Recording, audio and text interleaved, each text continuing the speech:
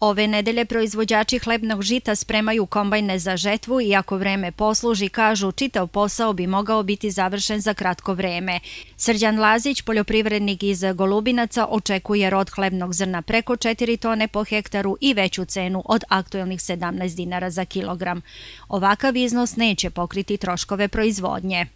Neće, zato što je skupa arenda i hemija, dosta ima prskanja i ulaganja žita, džubrivo je skupo i tako da će biti jako malo. Šta ćete uraditi sa žitom? Hoćete predati nekoj e, žitomlinskoj organizaciji? Predaću, ali ostavit ću na lager.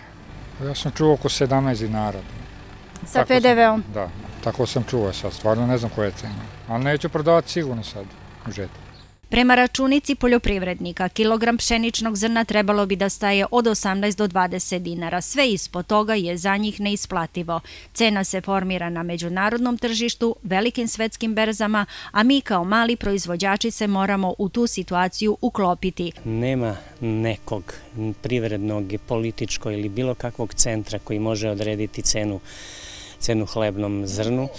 To se dešava na međunarodnom tržištu, to se dešava na velikim svetskim berzama, a mi kao mali proizvođači pšenice ovaj, moramo se samo u sve to uklapati.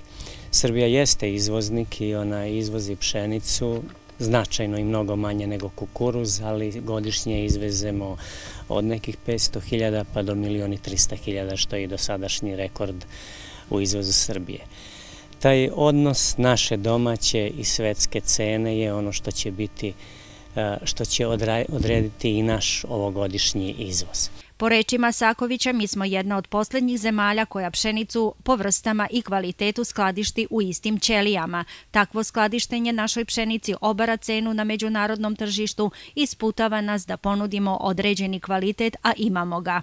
Zbog toga pšenično zrno prodajemo jeftinije nego što bi to objektivno mogli da uradimo. Razvrstavanje pšenice po kvalitetu je neophodno, zašto je potrebno formiranje nezavisne komisije. Tada bi bilo mnogo lakše govoriti o ceni, ali s obzirom da mi to nismo uradili o ceni, moramo pričati. Onda ono što možemo, što mogu proizvođači očekivati, cena od oko 17 dinara sa PDV-om odnosno očekuje se da se cena formira negde oko 16 dinara bez PDV-a u momentu žetve, sa velikom mogućnošću da cena u avgustu odmah posle žetve ide na dole, a tek od septembra da počne polako da se oporavlja.